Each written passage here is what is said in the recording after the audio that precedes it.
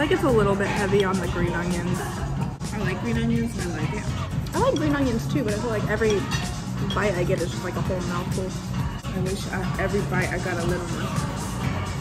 The miso soup sauce.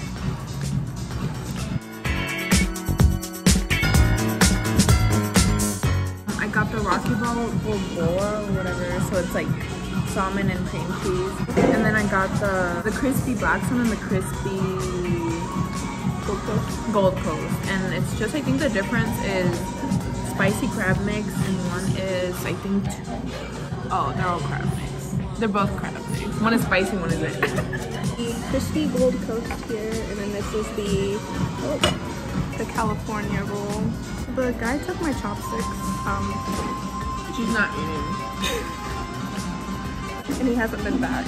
So Compared to other restaurants that I've been to in Omaha, the salmon is way more creamier. It's not as um, like chewy. chewy.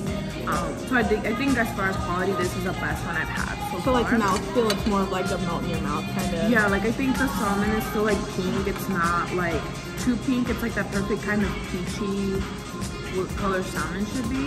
Um, as far as the other ones, I really like the uh, what is this Gold Coast? I got that one too.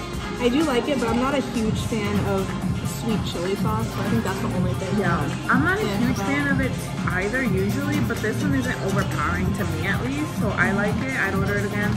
Then I got the crispy um, Blackstone, and that one's really good. I think that's the one you really Yeah, I tried it and I really liked that one. It's got the green onion. Yeah, it felt really fresh. They weren't too. I feel like you can taste it. Like if you're chewing too long, it's old. It's like a eight piece roll, and But they're they're like- decent size. Yeah. they're big, they're big boys. And then, you know, obviously you get like your ginger and wasabi. I'm a huge fan of ginger. I think I ate a lot. Yeah, I'm not. But the ginger was really good. It was really fresh. Um, so I'm like sometimes you know you'll get the ginger and it'll be like dried out. The rice felt like it was fresh.